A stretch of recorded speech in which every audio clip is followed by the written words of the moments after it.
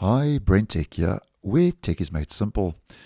So, Microsoft is busy testing dynamic lighting in the Windows 11 Insider program, as I have been posting. And they've been testing this feature over the last couple of months, which basically, according to Microsoft, provides Windows users and developers with native control of lighting devices implementing the open HID lamp array standard and that's by adopting an open standard.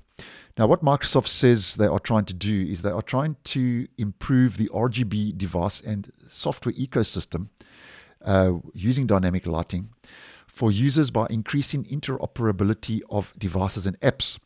Included are APIs for Windows apps to control devices from the background and foreground, as well as a page in Windows settings for users to customize how their devices behave. Now, that's quite a mouthful. But basically, for the purpose of today's video, what these RGB controls are all about is they will eventually allow you to manage your peripherals lighting effects without installing additional apps, which is currently the case without this dynamic lighting RGB support that's currently being tested in the Windows 11 Insider program.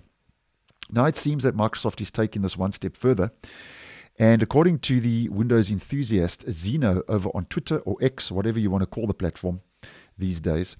Um, dynamic lighting may allow you to match your Windows accent color. And here we can see a screenshot provided where it's got the setting match my Windows accent color. So basically what this means at the end of the day is you will have the ability to match your Windows accent color to your RGB lights.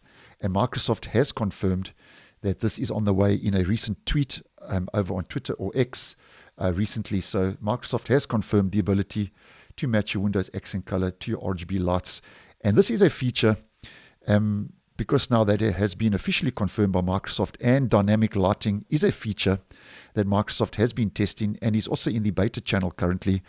And as I have mentioned previously, dynamic lighting is a feature rolling out with the 23H2 feature update, which we are expecting to see roll out starting possibly the end of next month uh, in September of this year, 2023. And now um, the ability to match your Windows accent color to your RGB lights um, seems to be a feature that Microsoft will be adding and giving you the ability to use with this, this new dynamic lighting when it does roll out. So thanks for watching, and I will see you guys in the next one.